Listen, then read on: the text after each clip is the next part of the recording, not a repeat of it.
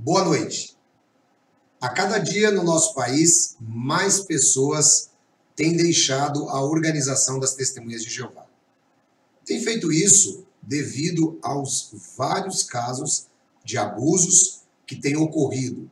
Tem feito isso devido a entenderem que não devem negligenciar a sua família. Casos de falsas profecias, muitas pessoas estão encontrando no Senhor Jesus a verdadeira fonte de vida. E você, seja mais um a conhecer verdadeiramente o Senhor Jesus. Nós estamos no ar agora e vamos trazer um assunto muito importante. Qual é o assunto? Falaremos sobre quando um, alguém que está sendo desassociado ameaça processar a comissão judicativa e os anciãos envolvidos. Nós aprenderemos isso baseado no próprio livro secreto dos anciãos que eu trarei para vocês a partir de agora.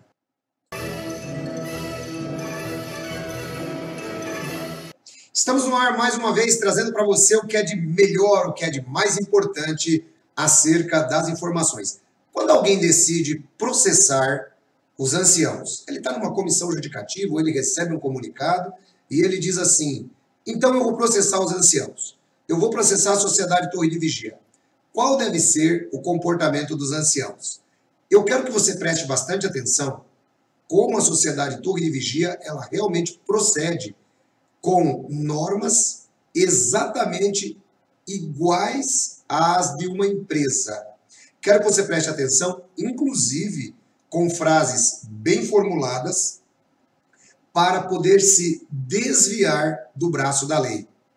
Vamos pesquisar agora, no capítulo 15 do livro dos anciãos, como deve acontecer se você disser, vou processar os anciãos. Veja junto comigo o livro dos anciãos, o livro secreto, o livro temido, o livro apócrifo, porque a palavra secreto, né, no caso aí traduzindo-se oculto ou apócrifo, tá? Então preste atenção junto comigo a partir de agora no capítulo 15. Vamos colocar para você conhecer a temida capa, o livro que outrora já foi de capa escura e agora traz uma capa um pouquinho mais light. Vamos dar uma olhada. Este é o livro Pastoreio Rebanho de Deus, o livro conhecido como o Livro dos Anciãos. Conforme você pode perceber, está aqui, ó, página 1 de 290, um livro que está bastante atualizado, né, com assuntos novos. Bom, vamos direto ao que interessa, vamos levar você até o capítulo 15, onde nós vamos tratar agora do assunto quando alguém decide processar a comissão judicativa. Veja que estão todas as orientações, a gente sempre vai trazendo esse assunto, lembrando que nós não estamos de maneira nenhuma infringindo a lei dos direitos autorais, nós estamos aqui trabalhando apenas em trechos pequenos e isto para fins jornalísticos, conforme a própria Constituição permite que nós o façamos, tá? Isso aqui é para a informação do público. Portanto, tá aí capítulo 15, né? É, vamos trabalhar quando o acusado decide se suicidar, a gente vai trabalhar em outra ocasião. Vamos trabalhar agora o nosso tema, quando o acusado ameaça processar os anciãos. Então tá aí para você. Como deve ser o comportamento? Vamos lá, na íntegra. Se o acusado ameaçar processar os anciãos, eles devem suspender a audiência e ligar imediatamente para o departamento jurídico. Bom, a primeira pergunta que eu faço é: se essa audiência ela fosse legal, por que os anciãos precisariam parar a audiência e ligar para o departamento jurídico? Exatamente por quê? Porque estas audiências judicativas não são legais. Elas se formam como um tribunal paralelo. É uma lei paralela à lei do país. Então, esses tribunais, eles não deveriam existir. É por isso que quando alguém ameaça processar, eles dizem que deve parar imediatamente e ligar para o departamento jurídico. Se eles estivessem certos naquilo que eles estão fazendo, por que eles precisariam correr para o departamento jurídico. Perceba agora no item 19. Se alguém da mídia ou um advogado do acusado entrar em contato com os anciãos, eles não devem dar nenhuma informação do caso, nem confirmar se há uma comissão judicativa. Por que, que os anciãos não podem confirmar que há uma comissão judicativa? Eles não podem confirmar que há uma comissão judicativa, porque a comissão judicativa é um tribunal paralelo. Eu vou dar um exemplo. É, quando as pessoas, na lei do crime, se reúnem e julgam outras pessoas que desobedeceram à lei do crime, dão sentenças essas pessoas estão fazendo um tribunal paralelo ao Estado. Assim também acontece entre as testemunhas de Jeová. É por isso que os anciãos não podem confirmar que há uma comissão judicativa, porque as comissões judicativas são ilegais, mediante a lei do nosso país. Vamos prosseguir. Em vez disso, eles devem dizer o seguinte: agora vem um textinho super bem preparado. O bem-estar físico, estou aqui, ó o bem-estar físico e espiritual das testemunhas de Jeová é de máxima importância para os anciãos que querem dar ajuda espiritual para os membros da congregação. Essa ajuda espiritual é dada de forma confidencial. Assim, a pessoa que procura os anciãos para obter ajuda pode ter certeza de que eles não vão revelar mais tarde o que ela disser. Perceba, um texto super bem formulado, né? Eles não podem dizer que é uma comissão judicativa, mas devem apenas dizer que é uma ajuda particular. Vejam, aí continua o texto. Por isso, não comentamos se os anciãos estão se reunindo ou se já se reuniram para ajudar qualquer membro da congregação. Fecha aspas. Esse é o texto que os anciãos têm que falar para a imprensa, esse é o texto que os anciãos têm que falar para o advogado, esse é o texto que vai realizar a mentira de dizer que eles não estão fazendo um tribunal paralelo. O texto deles continua. Se for necessário, os anciãos podem pedir o nome e o telefone da pessoa que está pedindo as informações e dizer que seu advogado vai entrar em contato. Daí os anciãos devem ligar imediatamente para o departamento jurídico. Continua.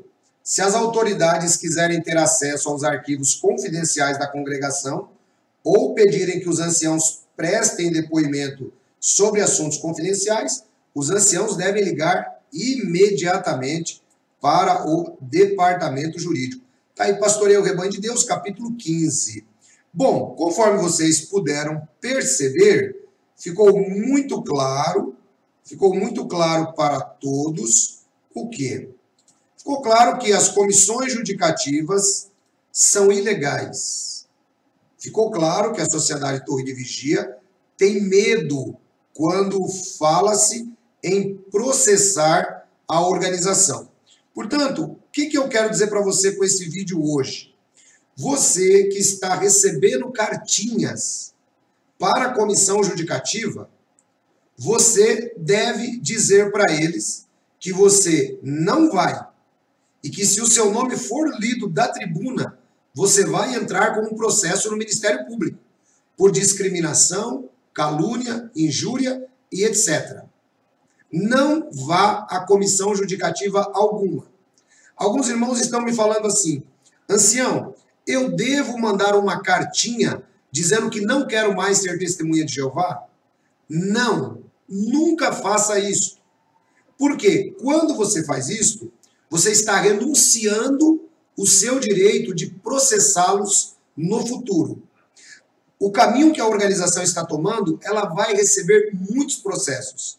E se você fez a sua cartinha e entrar-se com uma ação coletiva no país, você não vai receber nada. Então, nunca faça carta, não faça nada disto mais. Tá ok? Não mande carta. A única coisa é como eu disse em vídeos anteriores. O que, que você deve fazer? Pegar o seu WhatsApp, mandar para todos os membros da congregação, mandar para todos os membros da congregação a seguinte frase: Olha, estão querendo me desassociar. Coloca bem assim.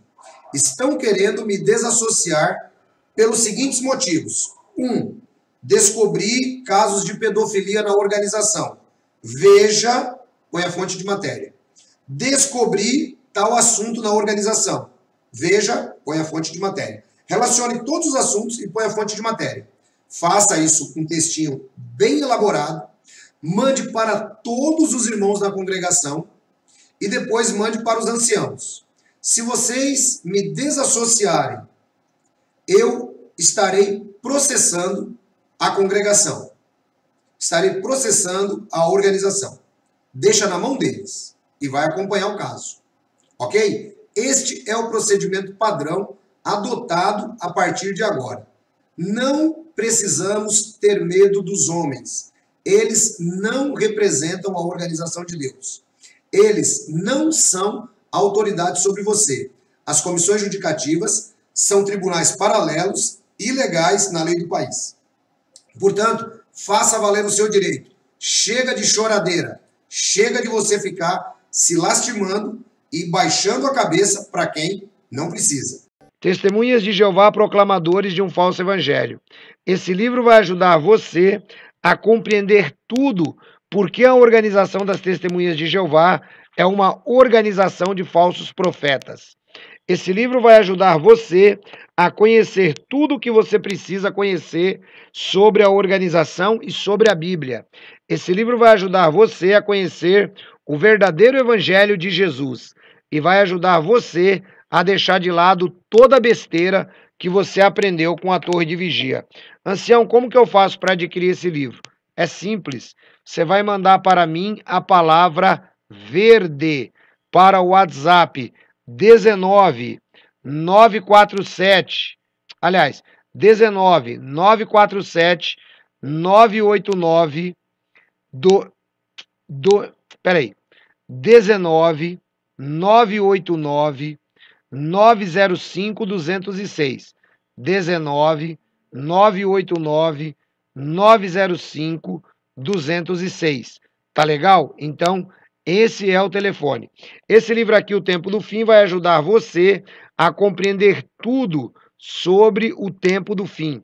Você vai aprender sobre Armagedon, você vai aprender sobre novo mundo, milênio, grande tribulação, tudo que você aprendeu errado na torre, você vai aprender certo aqui agora. Esse livro aqui você vai mandar para mim a palavra azul, tá? Azul para o WhatsApp 19 989 905 206. Obrigado, Leila. Obrigado, Henrique. 19 989 905 206. Ancião, eu quero os dois livros. Então você manda a palavra verde e azul. Os dois têm um desconto. Fica só 130, tá legal? Porque aí a gente consegue resolver no frete. Eu quero agradecer a todos vocês. Quero mandar um grande beijo para nossa irmã que se libertou definitivamente em Cristo Jesus. Se você quiser escrever a carta, é um problema seu. Eu não aconselho.